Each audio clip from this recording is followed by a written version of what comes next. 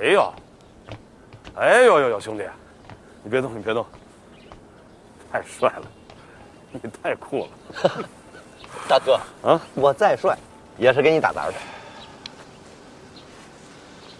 行了我，大哥，啊，你这有点忐忑呀。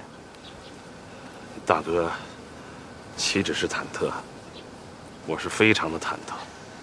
兄弟，你说从小到大，我就是阳县一下岗工人，我我我什么时候参加过这么大场面的什么商业？我没参加过这种会。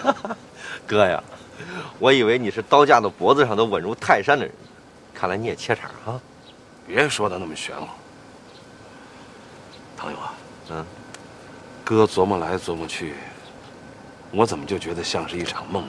这不是一场梦，这对你来说就是个神话。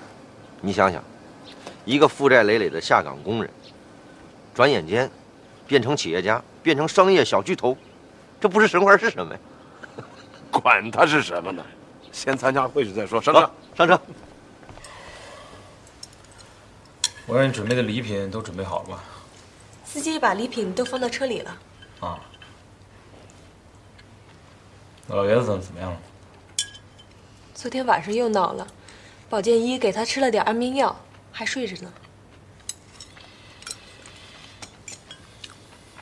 我听说曹总要回来了。嗯，下周吧，可能是因为你的事。我的事儿？什么事儿啊？你很怕曹总吗？没有啊。你为什么这么说？我们都挺怕他的。我倒觉得他挺和蔼的。那要看为什么了。曹总一生最痛恨欺骗他的人。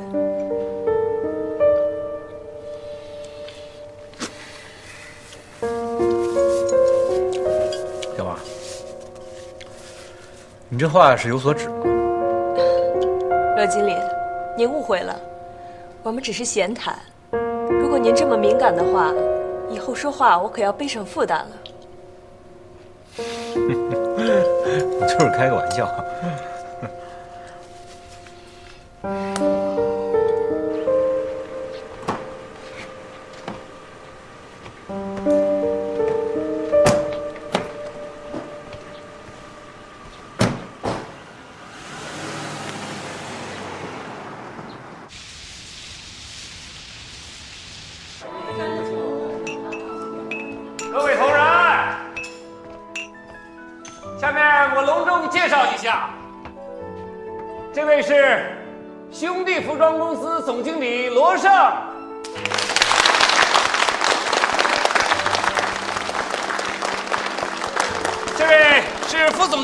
经理唐勇，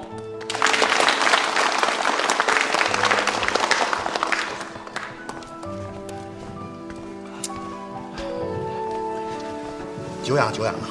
古老板对罗总的为人一向是赞赏有加。罗正初入商海，对经商一窍不通，全凭古老板扶持了。都不要客气了。大哥，我就够给你面子大哥竟碰上贵人了。破烂也碰见不少。各位来宾，各位同仁，锦城企业家第三十二届联谊会欢迎各位光临。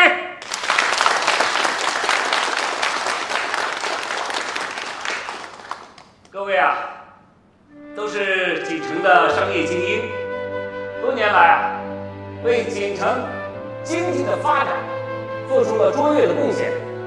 商人见利忘义，这是当今社会上许多人对我们商人的看法。我认为这是一种偏见，但也不无道理。我们联谊会的宗旨，那就是要联合锦城的商业同仁，诚信的经商，信义为本，做到利国、利民、利己，把我们锦城的经济啊做大做强。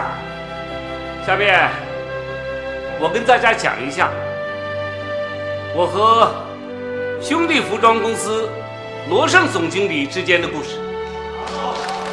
有请罗胜总经理。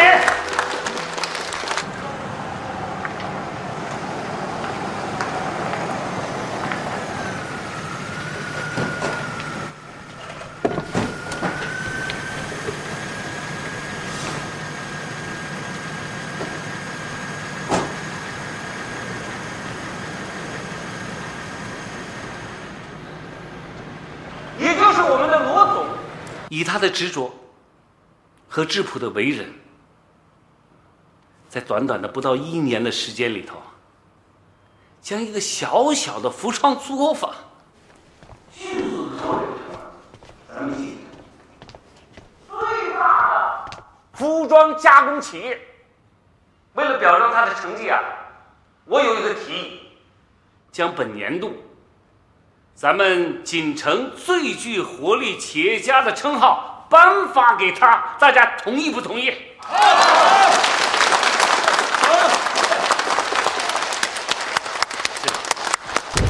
下面就请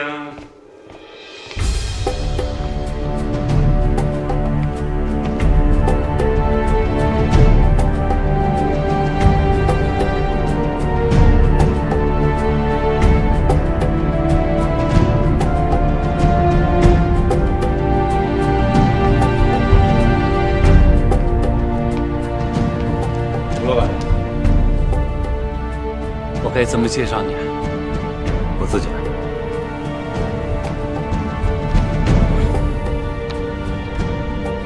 大家好，我自我介绍一下，我是锦城贸易公司的总经理，我叫罗宇。我们公司刚刚到锦城来发展，以后还希望各位同仁、各位前辈多多提携，多多关照。为了庆祝今天的盛会，我们公司用昆仑山的白玉特制了一批貔貅玉剑，在座的贵宾每人一件，略表寸心。先生，出去。既然是新入驻本城的客商，那就请多坐吧。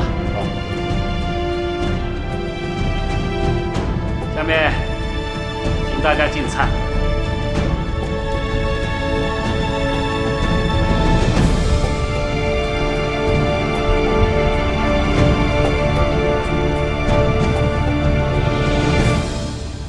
大哥，这怎么回事啊？你说他是不是踩着狗屎了？他姑要知道他是这个样子，姑会为他高兴。会不会觉得很意外？想知道这家景城贸易公司的背景吗？它是正达集团贸易总公司的子公司。舅，你是说，是曹总那公司？曹总怎么跟他熟？这没什么奇怪的。罗宇是个经商奇才，也许是应聘去的。大哥，你看他那个样子，太嘚瑟了，我真受不了了。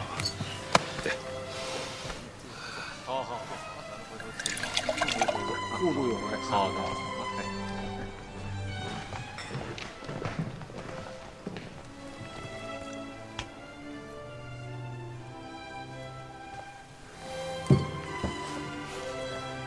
老岳，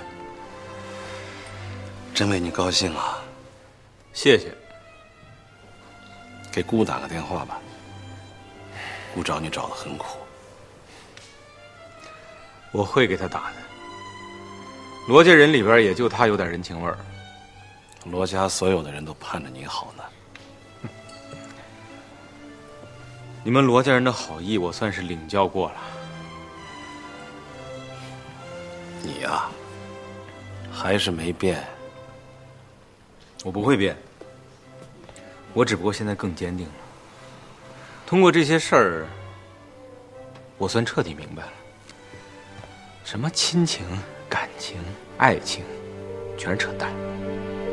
钱是人最忠诚的朋友。你就没想过，有些东西钱是买不来的。买不来的东西，都他妈不是东西。我怎么就听说，那个叶小姐不是因为钱跟你走到一起，更不是为了钱跟你分开的，对吗？博生，你是觉得我东山再起，你心里特别难受，所以说这话来刺激我的是吗？你要还这么想，有些道你就走不通。哎刚戴上一个什么什么什么企业家的帽子，就开始教训人了，太着急了。哼，我做生意的方法跟你不一样，我走的是阳关大道，那些扮猪吃老虎的招我学不来，太阴险。我办公司做生意不是为了跟谁较劲，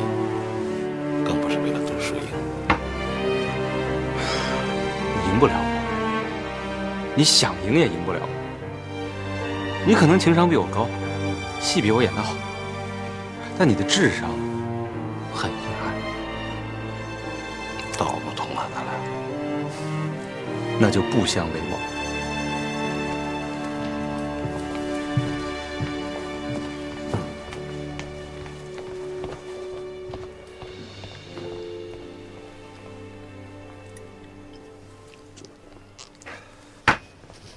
大哥，我跟你说啊，这事儿肯定有蹊跷。有什么蹊跷？你想想，曹总在彭城，罗宇怎么能认识他呢？这有什么奇怪的？曹总来锦城聘任一个经理，罗宇有经商经验又能干，怎么不可以？你以为天底下人都像你这么实在啊？我觉得这事儿吧，跟你的爹有关系。跟我爹有什么关系？我认识我爹的事儿，他又不知道。他怎么不知道啊？咱们那个兄弟服装厂开业那天，罗宇是不是来了？你爹也在，老爷子还咬他一口呢。行了，唐勇，不该动的脑子别动了，赶紧给你丈母娘通报一声，就说罗宇有下落了，你通行证就能拿到了啊。不是，哥，我这跟你说正事儿呢，你这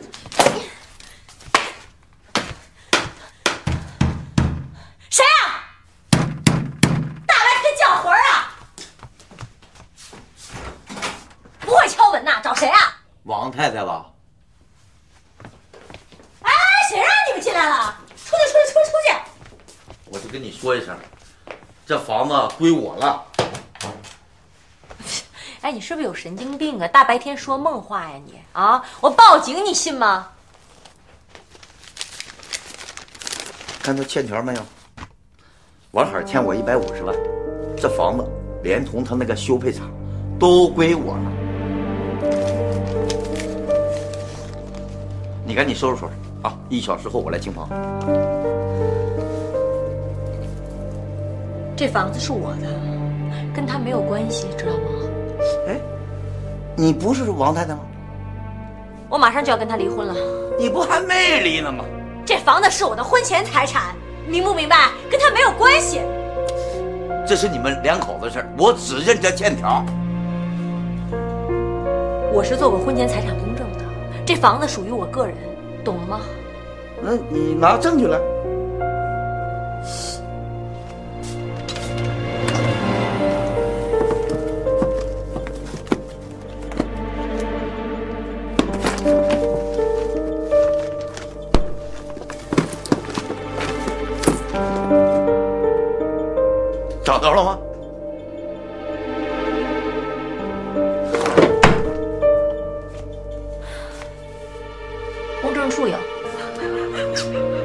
那你到公证处去取去。啊少他妈跟他啰嗦！一小时以后咱过来收房。好，你赶紧收拾收拾，一小时以后我回来。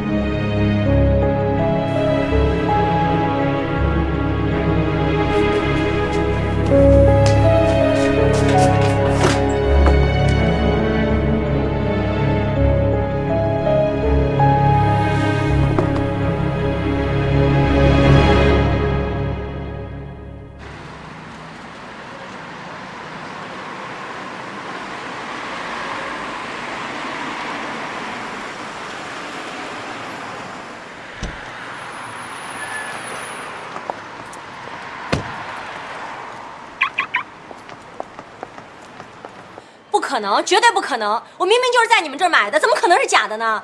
我们已经请专家鉴定过了。证书、发票是你们这儿的没错吧？怎么可能是假的呢？鉴定书和发票是我们这儿的，但这枚戒指确实不是在这儿买的。您要是不放心，哎，你这不就是一黑店吗？我明明在你这儿买的，你不承认，我告诉你，你信吗？女士，您不要着急，我们已经再三核实过了，您确实在这儿买过戒指，但的确不是这枚。那你什么意思啊？你的意思就是说我拿颗假戒指过来糊弄你们、敲诈你们啊？啊？我们不是这个意思，我的意思是，您的戒指是不是被人调包了？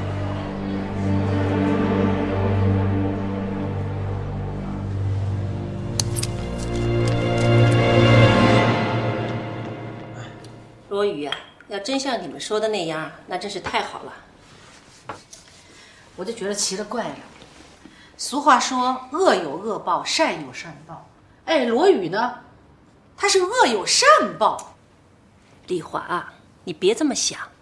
姑呀，你别再替那个六亲不认的人说话了。他认不认我们这没关系，他毕竟是罗家的血脉。哎呀，上次在法庭上他败诉了，什么都没了，样子怪可怜的。我和罗胜啊，嘴上没说，心里挺难受的。如果今天他真的有一份好工作，生活又安定，这不是一件好事儿吗？这不管怎么说，我觉得罗宇这个总经理当的还是有点来路不明。行了行了，他这个总经理来路明不明的跟你有什么关系？你把你的总经理当好就行了。吃苹果。行了，咱们啊都别提他了。只要他不再来害咱们，他就是当省长、当市长，跟咱也没关系。嫂子，话是这么说，但是我觉得吧，这个罗宇很有可能利用了大哥和老爷子的这层关系。老爷子，行了行了，没影的事别瞎说。大哥，什么叫没影的事儿？你那爹是白捡的呀。罗胜啊，怎么回事啊？姑，这么回事儿，罗宇现在负责的这个公司啊，是老爷子儿子的子公司。不可能，罗宇和老爷子啊他们相互根本就不认识。不认识不等于不知道啊。罗宇是什么人？他跟大哥完全不一样，他是个十足的生意人，给个缝就能下去。哎呀，唐勇，他走他的路，咱过咱的桥，他生活的好一点，有什么不好？呃，是是是，你说的都对，大哥。可我就是看不惯他在你面前那副得意忘形、装的连自己姓什么都不知道的样子。非把他打入十八层地狱，你心里才高兴。哎呀，行了，不管用什么渠道得到这份工作，只要工作好、生活好，这不是一件好事儿吗？其实要想弄清楚这件事儿啊，也很简单。我去趟彭城，不就什么都知道了？哎呀，累不累，唐勇？没事找事儿。反正你跟姑都属于好坏不分的活菩萨。哎，小唐同志，你胆子太大了啊！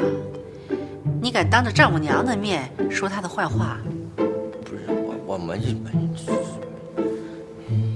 哎，姑，表妹给你找的这个上门女婿，你满不满意啊？我满不满意有什么用啊？要看他们俩合适不合适。哎呦，你看看，姑到底是有文化的人啊，这么开通。我跟你说，要是我儿子以后找对象啊，我要做半个主。哎，老爷子，哎。老爷子，你干嘛呀？哎。老哎爷子，你不能出去，老爷子。老爷子，哎呀，王姐，王姐，老爷子，你不能出去。您这是要去哪儿啊？哎。哎。曹总在国外还没回来呢。哎。哎，盛，灯，哎呀，哎呀，叫司机把车开过来。哎哎，老爷子，哎，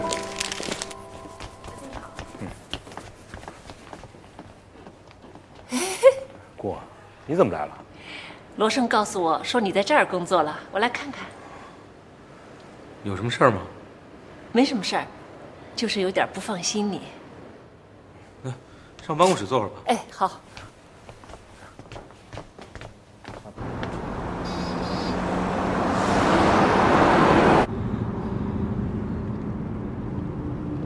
王姐，咱这儿去哪儿啊？你就随便开吧。好。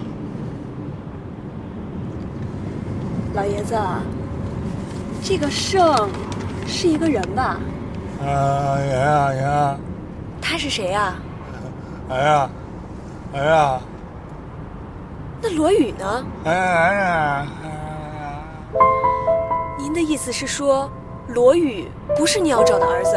啊啊啊！这这这玩意儿，这是啥呀？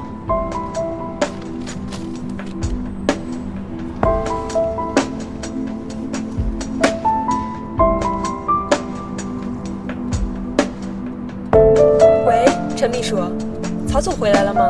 曹总刚下飞机，能让他接电话吗？他正在洗澡，找他有什么急事吗？那我一会儿打过去。就这儿。这是你的办公室啊！哎，坐坐。哎呀，太气派了！这比古老板和罗胜的办公室都气派啊！气派有什么用啊？我也是个打工仔。行，我听罗胜说了，这家公司实力相当雄厚，我倒觉得比你那个什么洗浴中心那有前途啊！要不说你就不明白呢。那洗浴中心是我自个儿的心血，我自己做老板，现在折腾光了啊！这个公司它再有前途，跟我有什么关系？罗宇啊，你又错了。人呐，要吃一堑长一智，要学会做人。你看你，学历很高吧，比罗胜高吧？可是呢，罗胜多会做人啊，人家做的多好。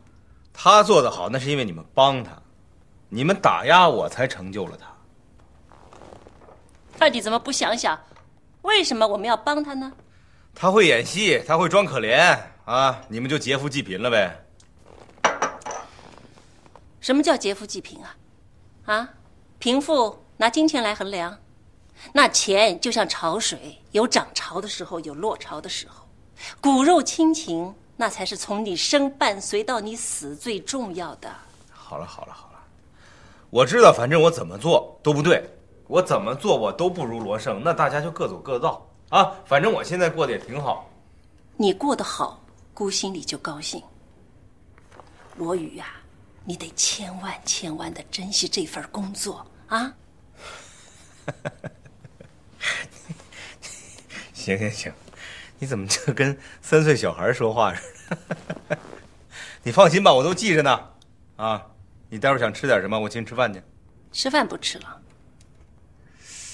我在想，你啥时候有空，咱们聚一聚。你爸爸去世以后，罗家啊还没有一起好好聚一聚呢。你打住吧，你就别费劲了。我明白你的心思。你们都是亲兄弟，有什么事儿说不开的，坐在一起把话聊开了，不就什么问题都没有了吗？我们不是一条道上的人，我们永远走不到一起。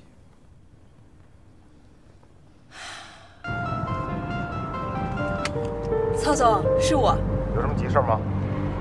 罗经理和曹老先生的关系有些蹊跷，一句话两句话说不清楚。您能不能尽快来一趟锦城？我晚饭前奔到。好的。谁让你们搬的？业主让我们搬的。你什么意思？你强盗啊你！我告诉你，别跟我吵！你家包还在楼上，跟他吵去啊！喂慢慢慢。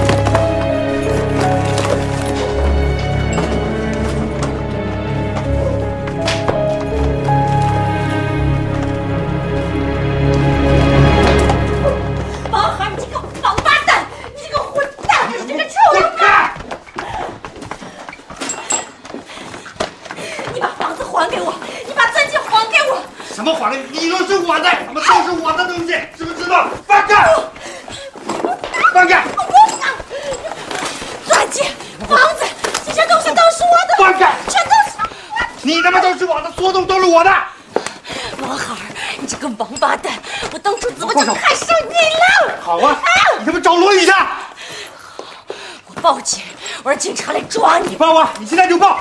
我他妈正愁没地方吃饭睡觉呢啊！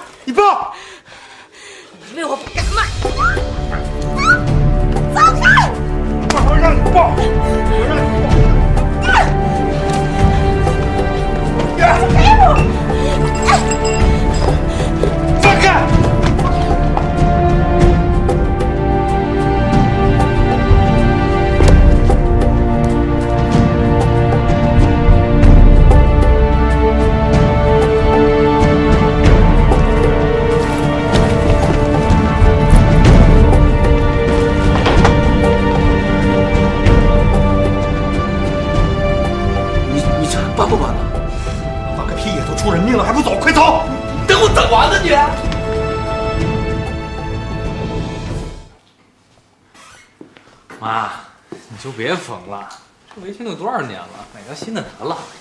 就是带子断了，还能用。那你这挣了钱不就是为了过好日子吗？才过了几天好日子，就把阳县的生活给忘了？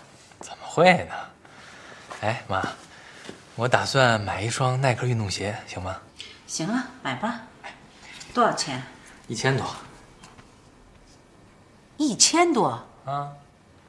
一双鞋要一千多，太贵了，不买。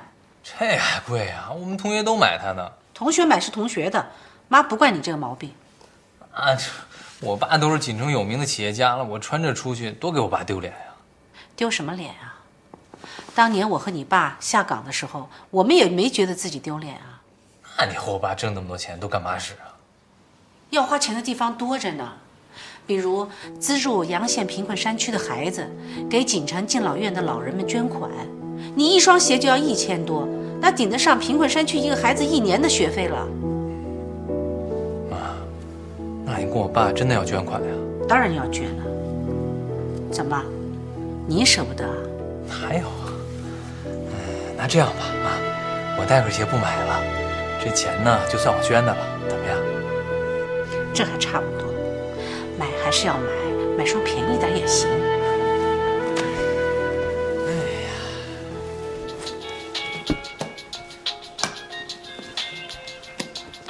谁呀？喂。啊。我认识藤香，我认识。医院。现在在哪个医院啊？好，好，我马上赶到。哎哎，妈，怎么了？你要去哪儿啊？妈去趟医院。谁病了？藤香。藤香？哎，藤香不就是我二叔以前娶的那个女的吗？妈，这二叔你都不认，你去管他干嘛？一句话妈跟你说不清楚，妈去去就回。那我跟你一起去。你好好在家待着。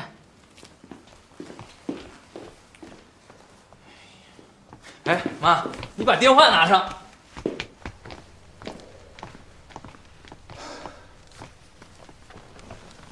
说吧，怎么回事？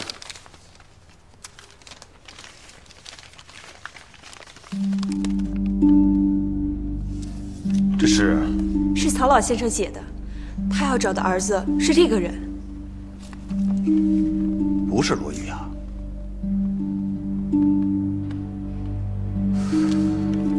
家父不能讲话，单凭这一个字，你凭什么判断？感觉你坐下。这些天我观察，老先生每次见到罗经理，情绪都很激动，见面就咬他或者挠他。罗经理看上去跟老爷子也不亲。家父是一个病人，情绪和思维不能像正常人那样次次要往外跑，今天早上拿着这张纸条，分明是要去找这个人。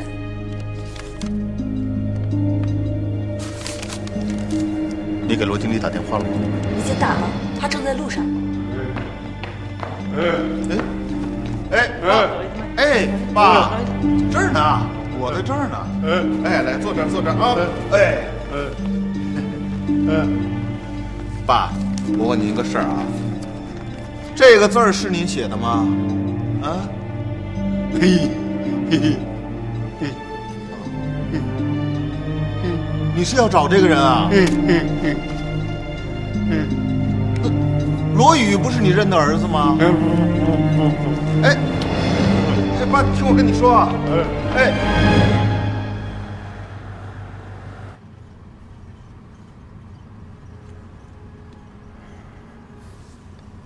小刘，曹总怎么突然回来了？可能是因为家里的事儿吧。家里什么事儿啊？老爷子一大早起来，又嚷嚷着出去找人呢。找谁呀、他哪说得清楚啊？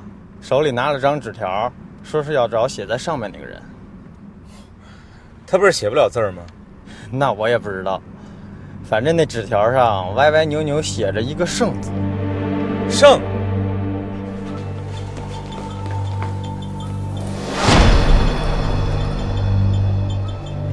医生，这是怎么回事啊？啊，他的头部被人击伤了，现在还昏迷不醒。被人击伤？对，谁干的？这个我们不太清楚，是小区的工作人员和警察送过来的。医生，严重吗？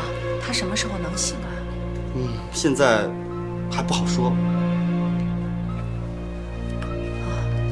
你们怎么知道我的电话的？是从他的手机里查到的。他的手机？对，您是他嫂子吧？手机里边显示的是嫂子。哦，对了，他的住院押金还没有交，您能不能先去交一下？行，没问题。是多少啊？先押一万吧。好，在哪交？出门走到头左转。谢谢。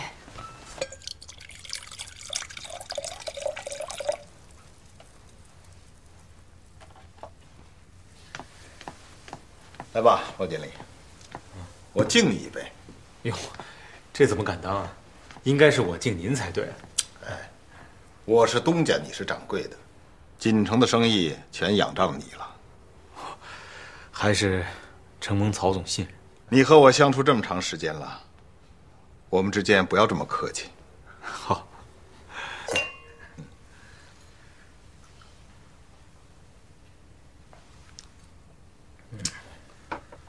那我把最近的工作给您汇报一下。啊，不必了。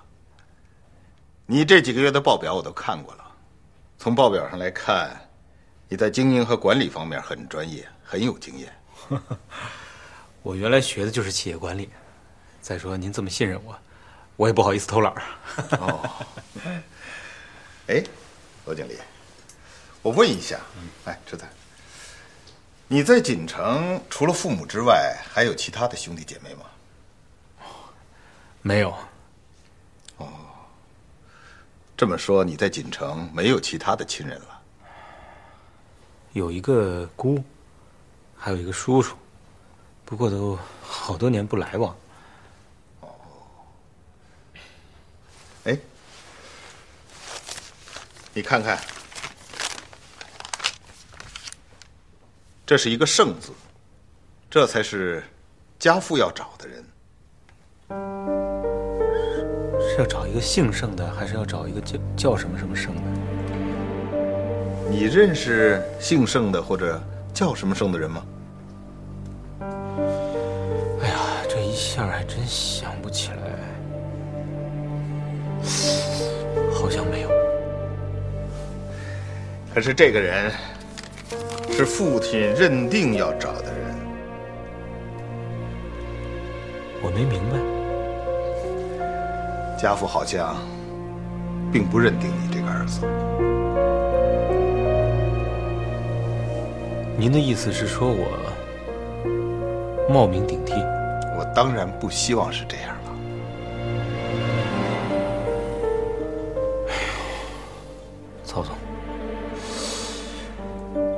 您要非让我拿出什么证据来，我确实拿不出来。你最初见到家父的时候，他胸前挂着一个东西，你记得吗？没有啊，什么东西啊？那是他六十岁生日的时候，我送给他的一个礼物。没有没有，我还给他洗澡呢，什么都没有。就路上丢了，或者让什么人给偷走了。这个不重要啊。可是我听你说过呀，你是因为家父才跟你妻子离的婚。你是说？让我前妻来把这事给证明一下，不必了吧？如果真是那样的话，我们之间将来如何面对啊？不，这我完全可以理解的。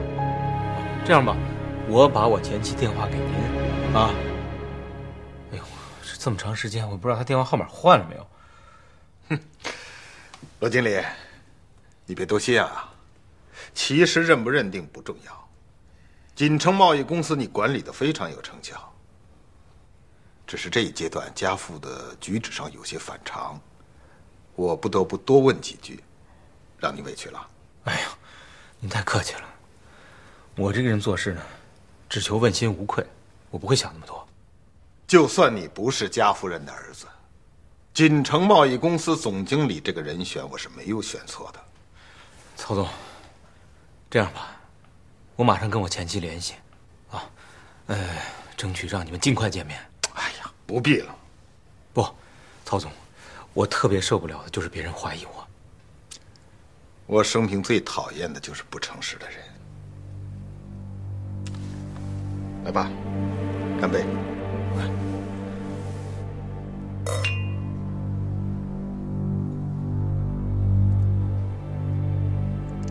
藤香被打成重伤了，嗯，现在在医院呢，还没醒过来。不是嫂子，你怎么知道的？医院的医生给我打了一个电话，这不，我刚从医院回来。医生怎么会打电话给你呢？这藤香的手机里有我的电话号码。那医生给你打电话，你就去啊？当然了，这人命关天的事儿啊。嫂子，你不是恨他们两口恨得牙根子直痒痒吗？那是另外一回事儿。罗宇现在不是跟藤香离婚了吗？哼，他跟罗宇在一起的时候也出了不少馊主意。藤香就算是有一千个不好，一万个不好，我就念他一个好。他有什么好啊？哎，要不是他给我们作证，我们家的债到现在还还不上呢。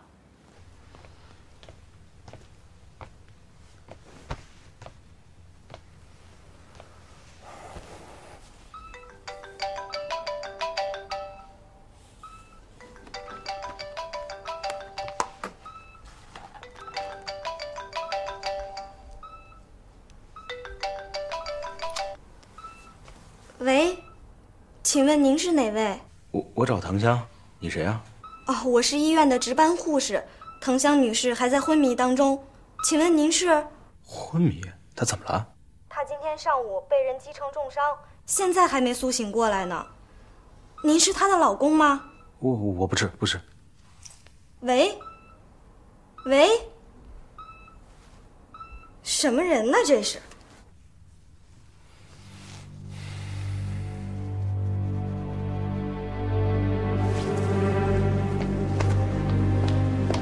罗经理，这么晚了，您这是去哪儿啊？我约了个客户谈点事儿，今天晚上可能住公司不回来了，你跟曹总说一声。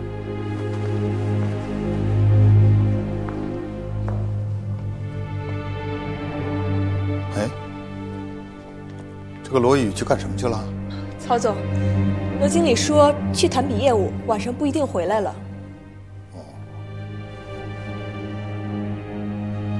间不早了，你也早点休息。我到楼上去看看老爷子。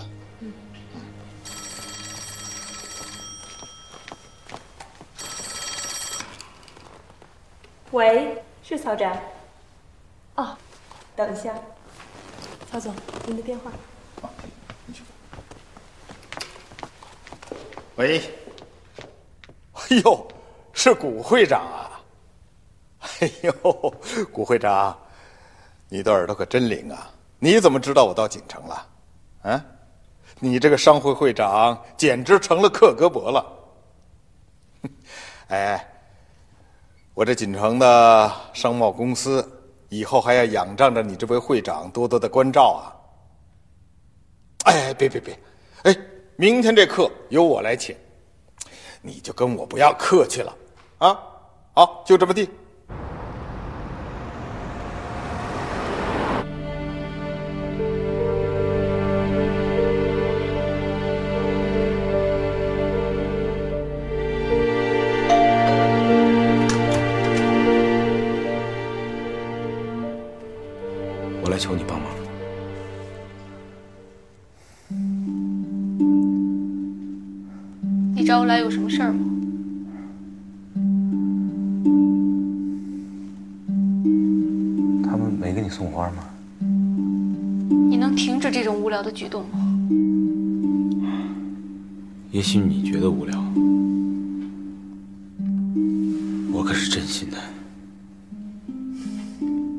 就是找我说这事儿的。